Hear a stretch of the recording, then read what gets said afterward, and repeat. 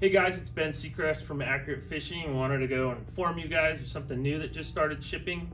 Our slow pitch jigging reel, SPJ, 500 narrow, right? No clicker on the sides. This guy's giving you an overrun of the whole thing. Extra long arm here, right? You've got SPJ handle, ergonomically correct, fits perfectly in your hand. And there's some small details here. When they went to design this, they took more material out of here because in seems like the guys in Asia have a different way of doing the jigging. And what we do is we try to go through and do some, make a product that's going to work for everybody. So six to one gear ratio.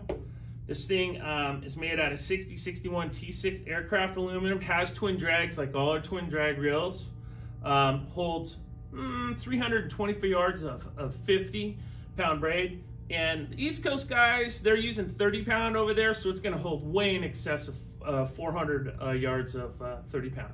So this reel, single speed, is 539.95. The two speed, which is offered in also is 639.95. You can see all our SPJ jigging rods too on our site. They're 279.95. And um, if you guys are looking to get into something that's fun, check this stuff out. You can check it out at accuratefishing.com backslash SPJ. And if you want to look at any more of our videos, please hit us up on our YouTube channel, Accurate Fishing, or hit us up at accuratefishing.com. Appreciate all the support through the years, and we hope you're catching fish.